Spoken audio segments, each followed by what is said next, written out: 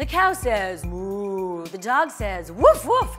The Shira says it's what's trending oh. now. Hey, it's the Shira. We just say Shira. Hey, it's Shira. Cecil the dog has mastered the art of wolf imitation.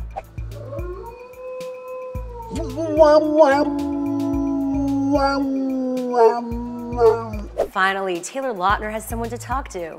Cecil was adopted by owner Nature Bats Last, so we don't know his age or breed, but none of that matters when you've got natural talent. It's a big day online for adorable animal imitations. This inventive dad's trick for stopping his daughter's crying is surging to the top of Reddit as we speak. What's a cow say?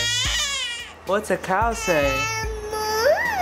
Ah, but this one has a twist ending. Be a dummy.